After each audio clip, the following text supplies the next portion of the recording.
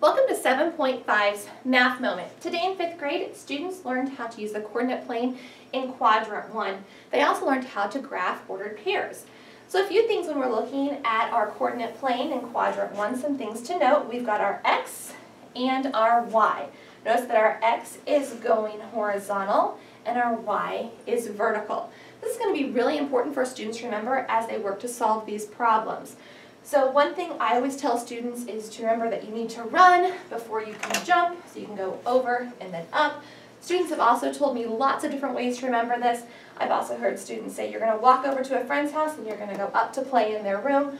Whatever helps your student remember that is going to be really important to make sure they have those ordered pairs in the correct spots. Let's go ahead and look at point E. Point E, if we go over, is at 4, and then we go up 2. So point E is at 4, 2. So I'm going to go ahead and write down 4, 2 with a comma. Now a really common mistake for 5th graders is to say this is at 2, 4. Notice there is nothing there. It's really important to always go over and then up when you're working with ordered pairs. Let's go ahead and try another one with point C. I'm going to go over 9. So I'm going to go ahead and write down 9. And then I'm going to go up to 3. Again, notice with my ordered pairs, I put a comma in between to signal that this is a division between the x and the y. I also have parentheses to show that it is an ordered pair.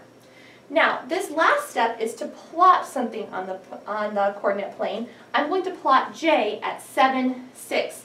So again, I'm going to go over 7, and I need to go up 6. I'm going to put a dot there and write j. Really remembering with ordered pairs, it's important to go x and then y, or over then up, to have your coordinate, uh, to graph things appropriately on a coordinate plane. If you have any questions about today's math lesson, make sure you see your math teacher.